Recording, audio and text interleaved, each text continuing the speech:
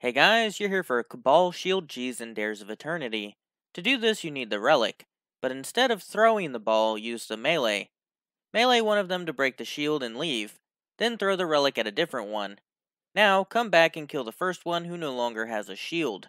This can speed up the encounter, especially if you have a teammate who can remove three shields and you follow behind to kill the bosses.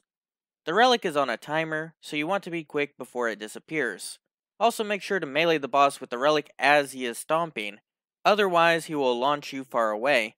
This could be helpful in Witch Queen if they add a similar mechanic. Cheese forever, Guardian!